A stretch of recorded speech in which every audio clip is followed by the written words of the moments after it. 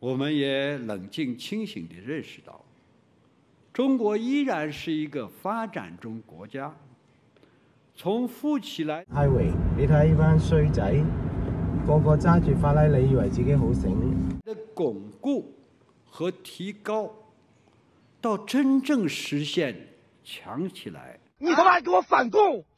我操你妈！再碰我！我不碰你，我他妈骂你不行吗？将是一个漫长。艰辛的过程。当前，单边主义、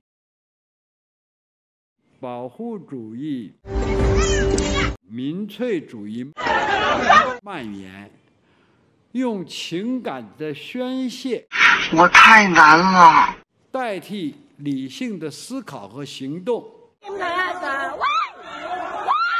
无助于问题的解决。中国。是世界和平的建设者，全球发展的贡献者，and sixty thousand factories after China joined the WTO。国际秩序的维护者，国际秩序的维护者。